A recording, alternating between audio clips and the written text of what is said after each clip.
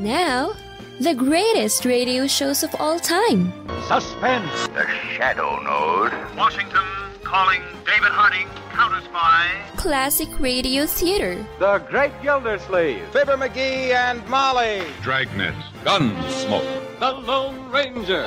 Now, step back into our time machine with your host, Wyatt Cox. Good evening, friends of the Inner Sanctum. Well, Jello again, the Jack Benny program, actually the Lucky Strike program starring Jack Benny, from 68 years ago, January 24th, 1954, and the shooting of Dan McGrew. And we thank you for joining us on this Monday, the 24th day of January. We have 342 days remaining until we get to 2023. Mississippi College, founded on this date in 1826, the first college in the state of Mississippi.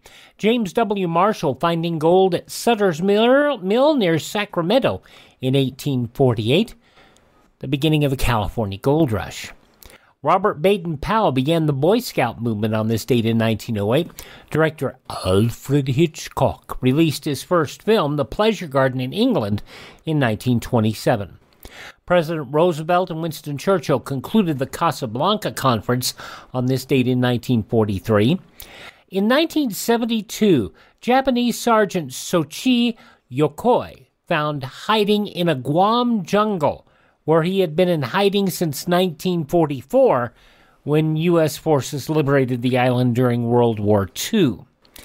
The uh, first Apple Macintosh went on sale on this date in 1984, and in 1986, the Voyager 2 passed within uh, 50,000 miles of Uranus. It is very likely that there will be another, uh, not be another mission to Uranus for a couple centuries. And so this is it. This will be in the history books, this will be in the encyclopedias for the next uh, couple hundred years a NASA spokesman on uh, the passing of uh, Uranus by Voyager 2 in 1986. Mass murderer Ted Bundy was executed in an electric chair in Starke, Florida on this date in 1989. Well meaning, decent people will condemn behavior of a Ted Bundy while they're walking past a, a, a magazine rack full of the very kinds of things that send young kids down the road to be Ted Bundys. That's the irony. Bundy received two death sentences for three murders in Florida, the exact number thought to be more than 30. It was on this date in 1998 that Pope John Paul II visited Cuba. The Pope and uh, Fidel Castro now on the platform as the Pope greets the crowd, waving with his right hand, the crowd in turn waving Cuban and Vatican flags reporter Jim Hickey. It was on this date in 2003 the Department of Homeland Security officially began operation. The law creating the United States Department of Homeland Security comes into effect. And now this department has its first secretary, Thomas Joseph Ridge. President George W. Bush. And it was in 2006 Disney agreed to purchase Pixar in an all cash deal, making Steve Jobs the largest shareholder in Disney. Making great content is the most important thing we can do as a company. And making great feature animation is incredibly important. If you look at the history of the company, during the periods of time that we have been uh, at the top of our game in feature animation, the company has really flourished. Passing away on this date in history, the founder of the Bolshevik Party, father of the revolution, Vladimir Lenin. Also, uh, Winston Churchill passing away on this date. Actor J. Carrol Naish, best known to our radio listeners uh, from uh, Life with Luigi. Uh, Larry Fine, actor comedian of the Three Stooges. George Cukor, the film director. The founder of Scientology, L. Ron Hubbard actor singer Gordon MacRae, Supreme Court Justice Thurgood Marshall, and actor Pernell Roberts.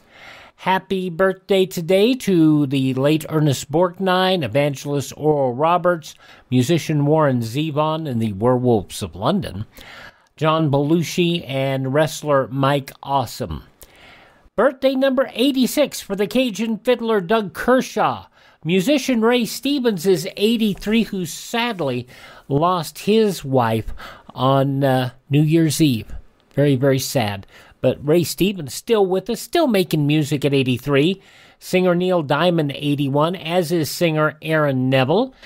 Russian comedian Yakov Smirnoff, who uh, I, have told the story before of how uh, Pat Paulsen uh, told a joke on my morning show down in Florida uh, when we were on the old People's Radio Network doing a national morning show that uh, Yakov Smirnoff was a Russian spy, and they blew up the phones where uh, where Pat Paulsen was playing.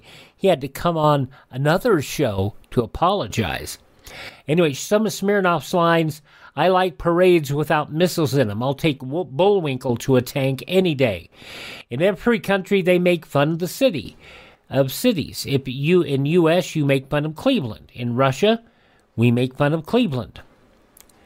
Uh, here you have American Express card. Don't leave home without it. In Russia, we have Russian Express card. Don't leave home. Yakov Smirnoff, 71 years old today. Uh, actress Nastassja Kinski is uh, 61. Gymnast Mary Lou Retton, 54. From The Last Man on Earth, Kristen Schaal, very funny lady, 44. From The Fresh Prince of Bel Air, Tatiana Ali is 43. And from the OC, Mischa Barton is 36. Those some of the people who celebrate the 24th day of January is their birthday. And if this happens to be your birthday, Happy birthday to you. Happy birthday to you. Happy birthday, happy birthday. Happy birthday to you.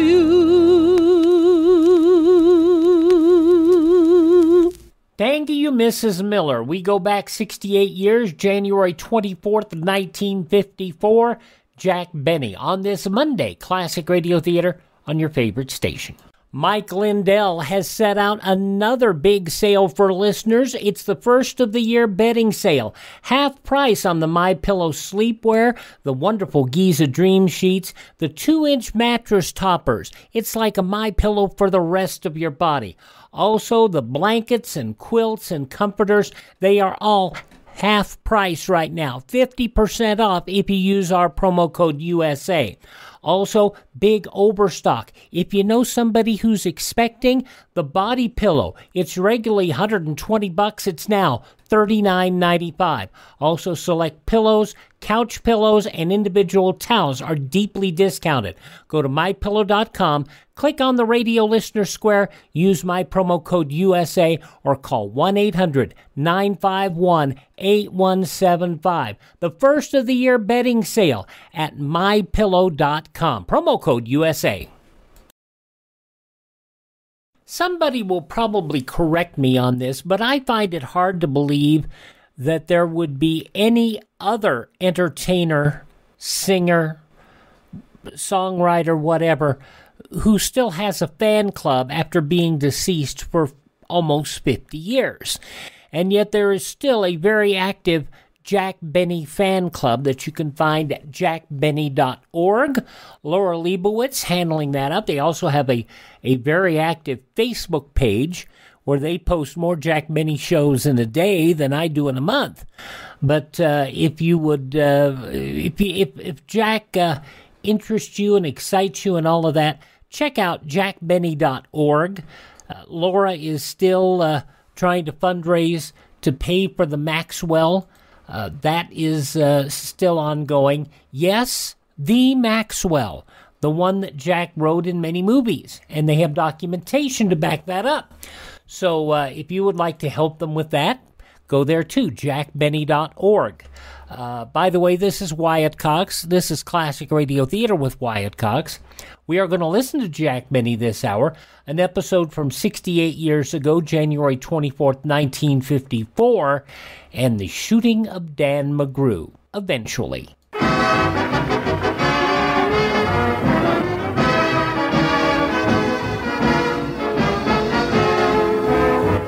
Jack Benny with Mary Livingstone, Rochester, Dennis Day, Bob Crosby, and yours truly, Don. Well,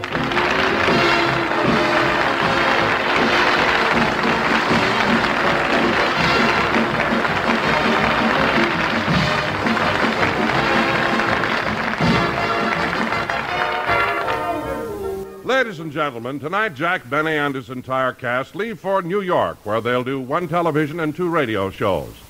As we look in on Jack's home in Beverly Hills, Rochester is taking care of the packing for the trip. Now let's see if everything's packed. Slippers, smoking jacket, silk robe, one full dress suit, dinner jacket, two tuxedos, silk scarf, gloves, white tie, and spats. Well, I guess that's about all. Now I better pack Mr. Benny's things.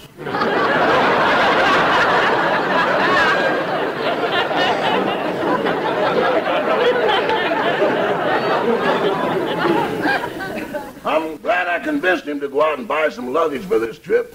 The boss really got a bargain in this airplane luggage buying it secondhand. There's no doubt but it's genuine airplane luggage. It used to belong to Orville Wright.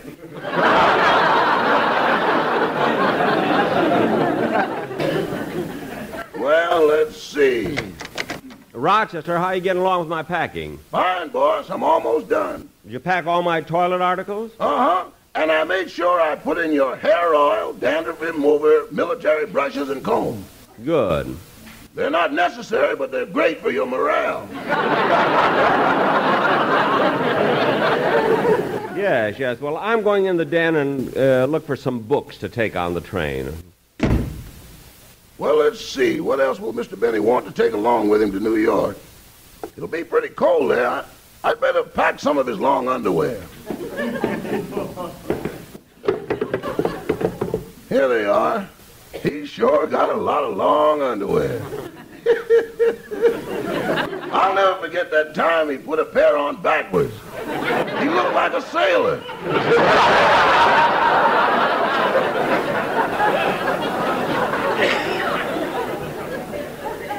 hey, what's this?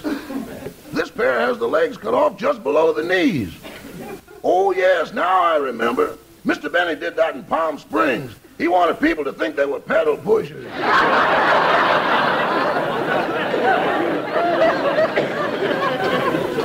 well, I better see it. Here, Rochester, put these books in my bag. Yes, sir. Wait a minute, boss. Didn't you read this book when it first came out? Einstein's Theory of Relativity? Uh huh. I distinctly remember it had 492 pages. Those numbers were the only things I understood. hmm, Einstein's Theory of Relativity. Yeah, I won't read it again. I'll wait till they make a picture out of it. I understand they're going to make it in the square root of 3D. now, Rochester, don't forget to take along my violin. You taking that thing to New York with you? Yes, there's always a possibility it might get lost or damaged. So see that my insurance policy with Lloyd's of London is paid up. You got your violin insured with Lloyd's of London? Yes, why? I thought anything that moans like that would have the blue cross.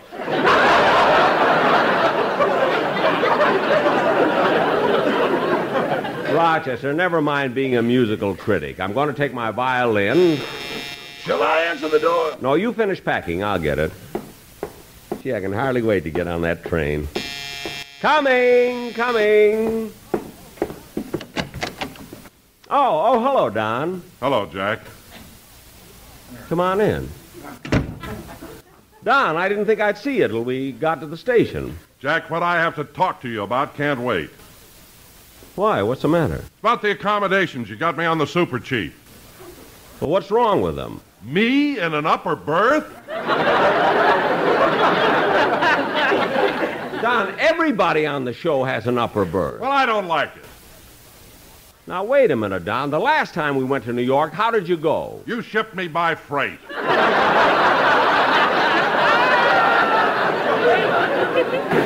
Oh, yes, I forgot. I made a good deal with the railroad then. Yeah, yeah, that was the most humiliating trip I ever took. Humiliating? Why? When the train stopped at Chicago, they opened the door and some guy stamped Swift and Company on me.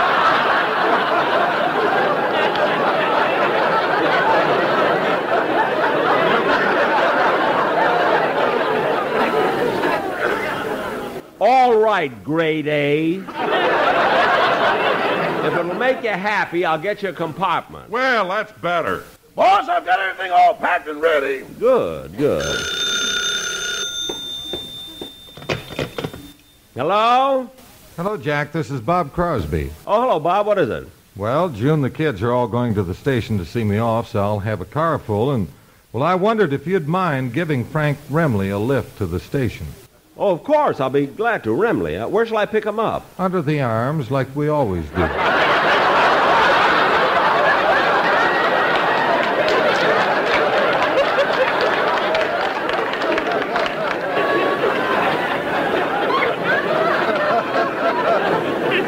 Oh, yes. Yes. Well,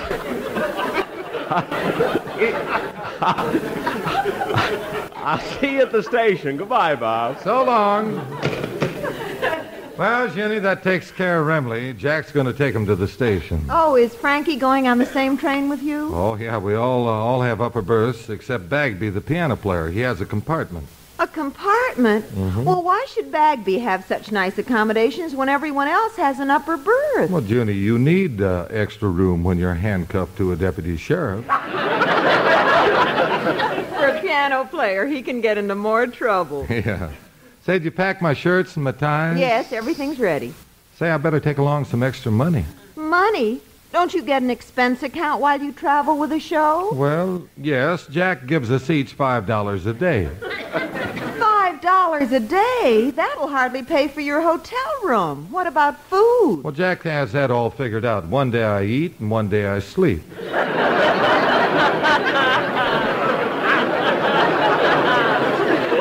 I better get my heavy coat. You know it's cold back east, honey. Well, I put it by your luggage. Oh, by the way, Bob, didn't I hear some talk that President Eisenhower is going to appear on Jack's radio show next week? That's right. Jack is dedicating an entire program to the Red Cross. Oh, gee, it's nice of Jack to do that. Well, it's no more than fair. Look at all the blood that they've given him.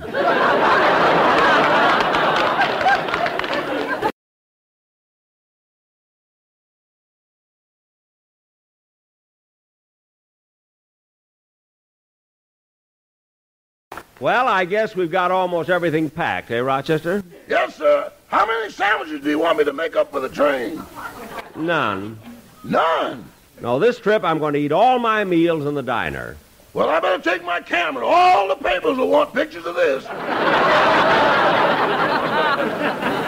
Look, don't be so funny. Now, you put my luggage in the car and make sure all the doors and windows are shut. Oh, I got to go down to my vault and get some money for the trip. Don, will you pick up Frankie Remley? Sure, Jack. See you on the train. Yeah, I'll be. I'm going to the vault. I'll be right back, Rochester.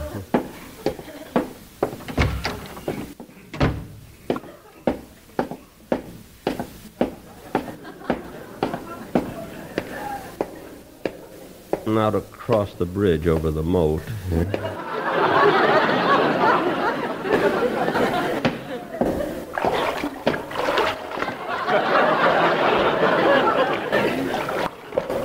Gosh, look at that alligator.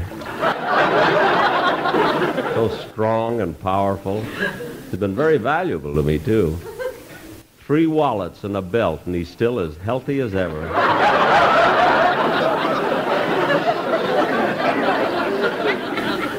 Hope he forgets by next Christmas. He's getting wise to me when I come in here with a piece of meat in one hand and a can of ether in the other. Down, boy. See you later.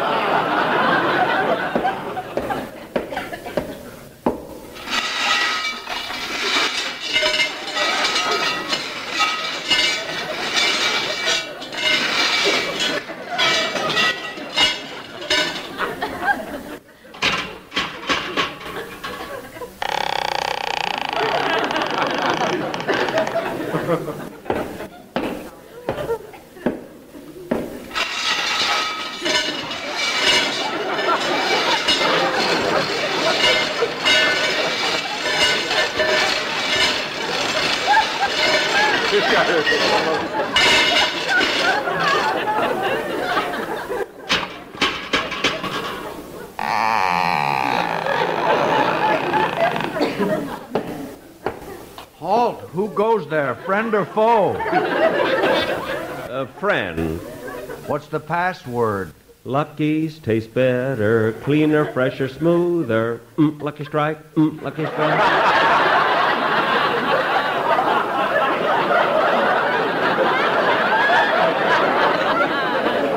Oh, it's you, Mr. Benny. yes, Ed. Uh, nice seeing you again. Thank you. How are things on the outside?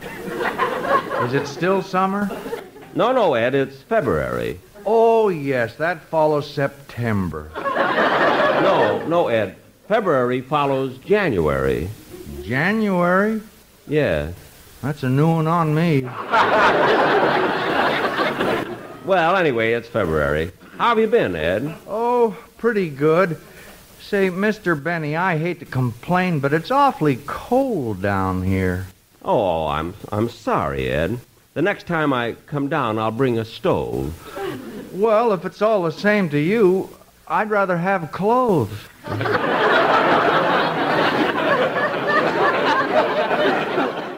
January 24th, 1954, Jack Benny on Classic Radio Theater. Oh, come on, I hate you. You have no right to speak to me. You're stupid. You're evil. You believe in your God, guns, and gold. You shouldn't have the right to vote. We must fix this disgusting country now. We want socialism now. Whoa there, little fella. Our U.S. Constitution protects your right to say these things, even if they are drivel. Our founders believed in our inalienable rights granted by God, not some mafia.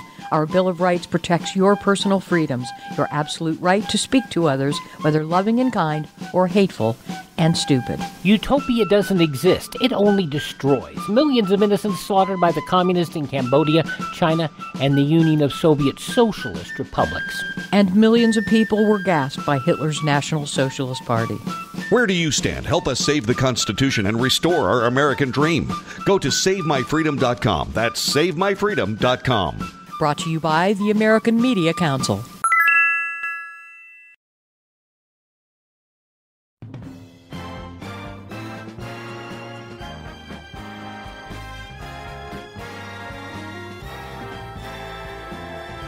And thank you for tuning in to Classic Radio Theater with Wyatt Cox on your favorite station. And we're listening to Jack Benny this hour, an episode from Sunday, January 24th, 1954. In the newspapers of that Sunday, 68 years ago, these were some of the headlines. Russia's VM Molotov flew into Berlin in a Siberian like snowstorm yesterday and immediately suggested a full voice for Red China in the Foreign Ministers' Conference opening in Berlin tomorrow. His suggestion had no prospect of acceptance. It may well produce the first major disagreement of the Big Four in the conference. A few hours after Molotov made his bid, American officials said they wanted no part of it. They reported the Western minister standing firm in the conviction the conference must deal with the problems of Germany and Austria if it's to achieve its purpose, and that these are not the primary concern of Peiping. Amid signs of a major mix up on high levels, the Marine Corps and Army opened formal probes yesterday of the actions of a colonel and corporal while they were prisoners of the Chinese communists.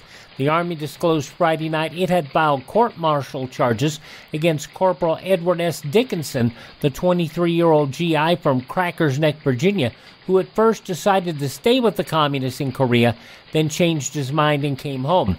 Dickenson accused of unlawful dealings with the enemy and currying favor with his communist captors to the detriment of fellow prisoners. Well, once that announcement got out, the Defense Department figured it was no use holding the Marine Corps back. So the Corps announced yesterday a court of inquiry had been formed to investigate the case of Colonel Frank H. Schwable, Marine Corps uh, officer who made a false confession while prisoner of war about participating in germ warfare. He announced the confession after his release in the Korean War exchange. All signs pointed today to a toughening attitude by the Allied side toward 21 Americans of Britain and 325 South Koreans who are staking it out in a pro red camp, although it now is unlocked and virtually unguarded. General John E. Hull, UN Far East commander, was known to feel the men, prisoners of the Reds refused to take back, are no longer any concern of his command with the passing yesterday of the armistice deadline for processing bulky repatriates. Tax law changes already proposed by the House Ways and Means Committee would save taxpayers almost a billion dollars. The total could reach three billion if other proposed changes are enacted. The committee, with President Eisenhower's full approval, is overhauling the tax structure. Thus far, it's approved nine of the 25 changes suggested by the president in his budget message. There also have been other revisions. Administration leaders yesterday put a Monday deadline on efforts to compromise with the Republican senator from Ohio, Bricker, on a proposal to rewrite the Constitution's treaty making provisions. Senator Knowland of California, the GOP floor leader, said he will report to President Eisenhower and House leaders tomorrow morning at a White House conference on weekend efforts to reach an agreement. Reports spread in parliamentary circles yesterday that Prime Minister Winston Churchill may retire when Queen Elizabeth returns from her world tour in mid May. If he does, it's believed the Duke may award with a dukedom his two generations of serving under six sovereigns. A couple of police stories. When the snow began pelting Washington, an 11 year old boy rang up police headquarters in the district to see if the schools would be open. The headquarters operator announced in the usual monotone, Do you have a complaint? Youngster said, That depends. Depends on what? Whether there's school. There's no school. No complaint then, thank you. Oh, and in Philadelphia, Marty Waterman parked his car in front of the variety, his variety store. Well, remembering the mechanics of the parking meter, he dashed out to put another nickel in the slot, but he was too late. There was already a parking ticket on the windshield, but attached to it was a cigar and a note which read, My wife had a baby today, signed the cop on the beat. And in Frankfort, Indiana, the sign that said, Through these doors past the world's finest people came down from Don Seeger's Corner Tavern at Mulberry. Seeger yanked it down in disgust after finding the tavern had been entered through the front door and about 400 bucks taken from the safe. And those some of the day's top news stories, as reported in the newspapers of Sunday, January 24th, 1954. On your radio, Jack Benny, the conclusion of which you'll hear next on this Monday Classic Radio Theater on your favorite station. Here's some great news. If you missed the deadline to sign up for health insurance, or if, like a lot of people, you just have a plan you're not happy with, you still have a choice. It's called MediShare. It's a Christian healthcare sharing program. There are more than 400,000 members now, and they love it. In fact, MediShare has double the customer satisfaction rate compared to that of health insurance. And MediShare really is the gold standard when it comes to healthcare sharing. It's been around more than 25 years. Members have shared more than $4 billion of each other's medical bills. Plus, MediShare is for you. It has saved its members billions by advocating on their behalf. Best of all, the typical savings for a family is around $6,000 a year. So if you think you're stuck with a high cost health plan that doesn't have much to offer, think again. MediShare has a 98% customer satisfaction rating, and you are invited to be part of it. Call now. 833 34 Bible. That's 833 34 Bible. 833 34 Bible. Well, on our Tuesday Classic Radio Theater crime drama, Big Town, starring Edward Pawley, the crusading editor of the Illustrated Press. In an episode from 73 years ago, January 25th, 1949, The Fatal Fix. Willie the Weep sees a young girl attacked on a big town dock. She's been slashed by Shiv the Knife to keep a basketball fix racket under wraps. That's on Tuesday's Classic Radio Theater. Edward Pawley actually did a quite a good job in succeeding Edward G. Robinson on uh, Big Town. But we'll hear that tomorrow on Classic Radio Theater. But right now, the conclusion of the Jack Benny Show, 68 years ago today, January 24th, 1954. Say, Mr. Benny, I hate to complain, but it's awfully cold down here. Oh, I'm I'm sorry, Ed. The next time I come down, I'll bring a stove. Well, if it's all the same to you, I'd rather have clothes.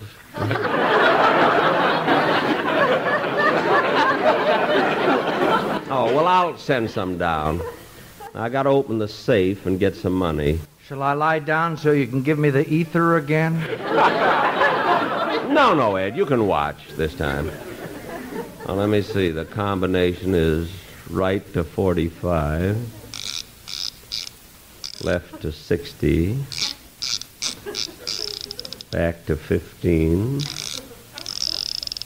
then left to 110. There. There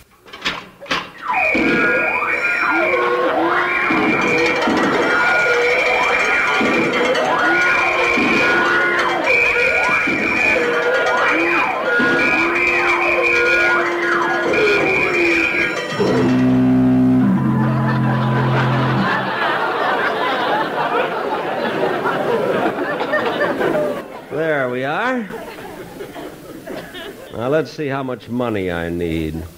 There, this ought to be enough. Gosh, look at that big pile of money way in the back of the safe.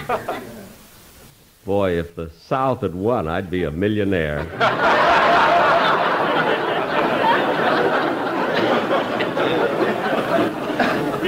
well, I better close the safe. Mr. Benny, you sure took out a lot of money this time. Yes, Ed. Besides going on a trip. You see, on March 15th, I have to send my income tax to the government. All the way to Mexico City, huh? No, no, no, no, Ed. California is a state now. well, so long, Ed. Uh, goodbye, Mr. Benny. Oh, Gesundheit, Ed. I won't forget the clothes. Uh, goodbye.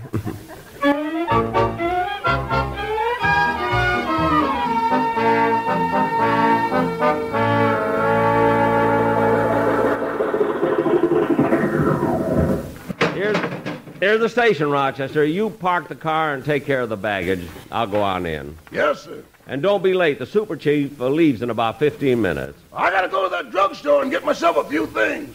What do you have to get? Some toothpaste, vitamin pills, and uh, shampoo. Uh, wait a minute, Rochester. Isn't that a Rexall drugstore? Yeah, why? Well, they're having a one cent sale. Here's three cents. Get me the same.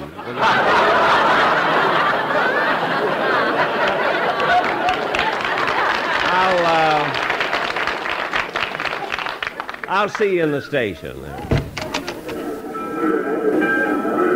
Train now leaving on track 5 uh, for Anaheim, Azusa, and Cucamonga.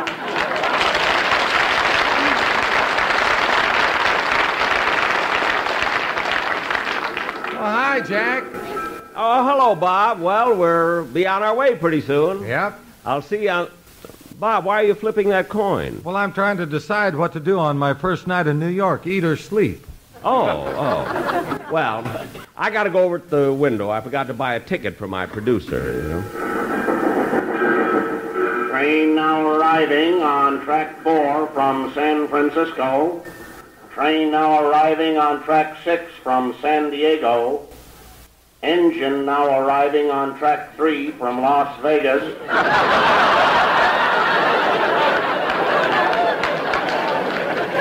Boy, did that conductor have bad luck.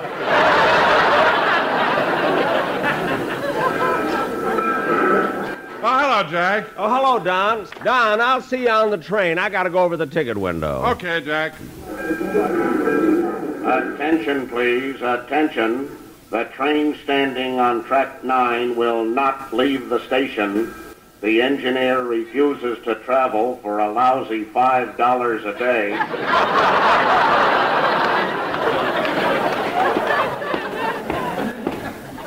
Now, let's see. Oh, that's the ticket window over there. Hi, Rube.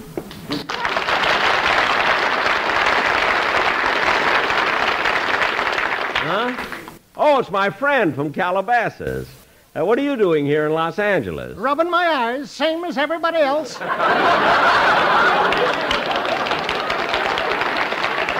Oh, that's. Uh... For a city that don't grow nothing, you sure got a lot of smudging going on here. Yes, yeah. Where are you going? No place. I just arrived from Calabasas. Oh. How are things out there? Oh, pretty good. Been making speeches all month. Speeches? Yep, I ran for mayor. The election was yesterday. Mayor of Calabasas. Uh, how'd you make out? I don't know. We're still waiting for the rural vote to come in. Oh, of course, the rural vote. Well, tell me, did you put on a good campaign? Oh, yes, yes. I went around to each farmer individually and asked him what his biggest problem was. I see. And what is the farmer's biggest problem? Traveling salesman. Secretary Benson will certainly be glad to hear that. Well, I better get going. Have to round up my wife. Oh, your wife's with you? huh? Yeah, she's on a shopping spree. Every time she comes to the city, she goes hog wild. No kidding. Last year, she bought 120 hogs. Heard Spade Cooley pull that one. you, uh, you ought to catch that boy. Now there's a comedian.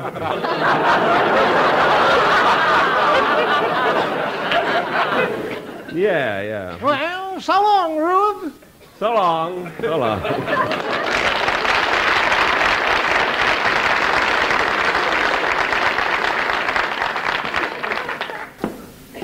I don't get it. He likes Spade Cooley and he calls me Rube.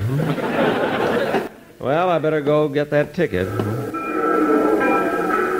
Attention, please. All newspaper men and reporters, attention. Now arriving from Florida, Barbara Hutton and Porfirio Rubirosa. They are arriving on trains marked his and hers.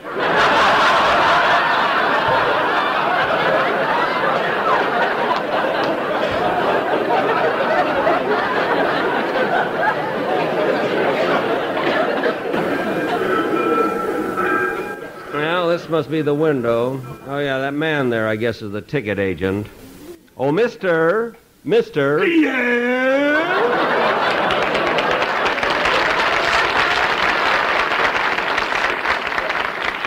Holy. s- Are you the ticket agent? Eh, no, I'm a groundhog. I came out, saw my shadow, and ran back in here. Well, I'd like to buy a ticket to New York. Well, I can only sell you a ticket to San Francisco. I just sold the man ahead of you a ticket to New York. Well, what's that got to do with it? You can sell me a ticket to New York, can't you? I can, but I won't. Why not? I like to keep my stacks even.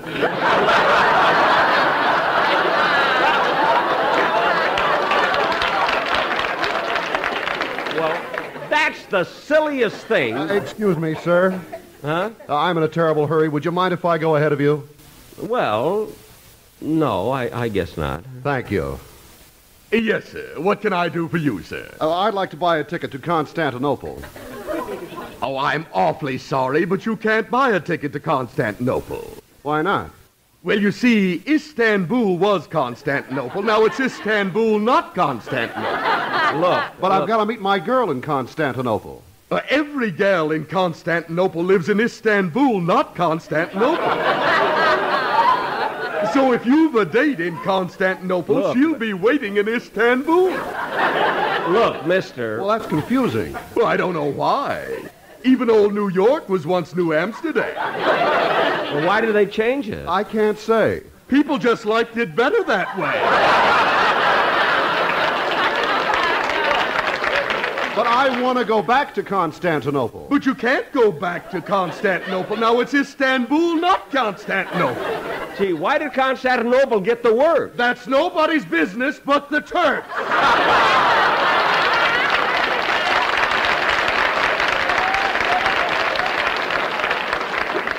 Oh. Here's your ticket to Istanbul. Oh, thank you, and goodbye.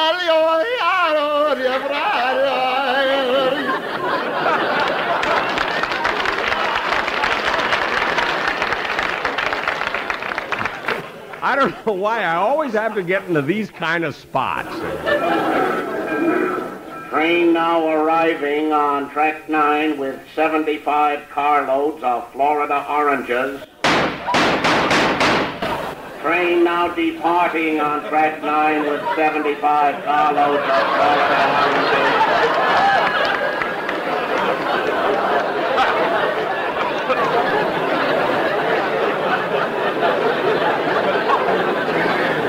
Now, look, clerk, you better sell me a ticket to New York or I'll report you. Oh, all right. Is the ticket for you? No, it's for my producer. Very well. Uh, do you want this ticket on the El Capitan or the Super Chief? Well, let's see. I'm on the Super Chief, and the fare on that is $143. Yeah, that's right. And if he goes on the El Capitan, it'll be $175. Now, just a minute. I happen to know that the Super Chief is more expensive than the El Capitan. Not when you're on it. now, cut that out. Attention, please. The Super Chief is now departing.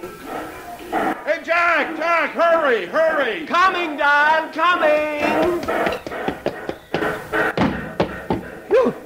I just made it. Yeah, you sure did.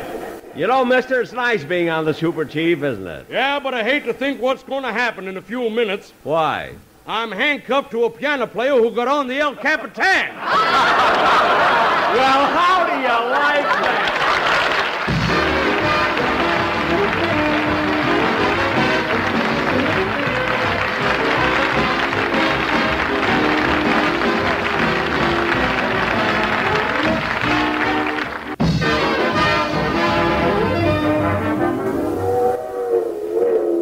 Well, Rochester, we're on our way to New York. Yeah, you've got a pretty busy schedule when we get there, haven't you? That's right. I'm not only doing two radio shows, but I'm also doing a television program next week with Helen Hayes. Then I also have to play a big benefit. A benefit? Who for, boss? My cast. Some of them would like to eat and sleep. Good night, folks.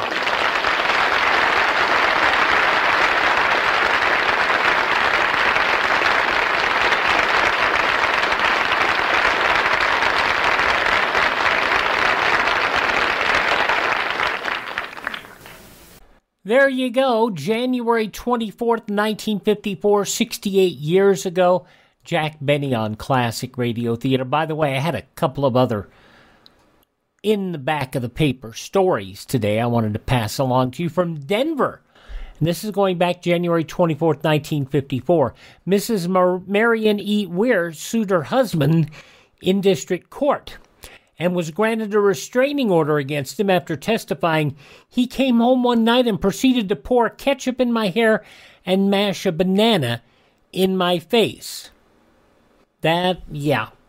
And uh, in Jersey City, New Jersey, the ferry boat Lackawanna slip wasn't showing the other morning as the Jersey Central Ferry Plainfield began to leave its slip in pea soup fog at 8:45 a.m. A huge bulk loomed out of the mist about 50 feet out in the Hudson River. It was the Lackawanna, which ordinarily docks in Hoboken at the Lackawanna Railroad berth. A Plainfield deckhand rushed out with a megaphone saying, Ahoy, Lackawanna! Is it the Jersey slip you want? A moment of silence, a voice yelled back, No! And the Lackawanna backed, hurried backwater out into the murk, docking later at its own slip. Oops. Don't slip up and miss uh, a thing we have here. Visit our webpage, classicradio.stream.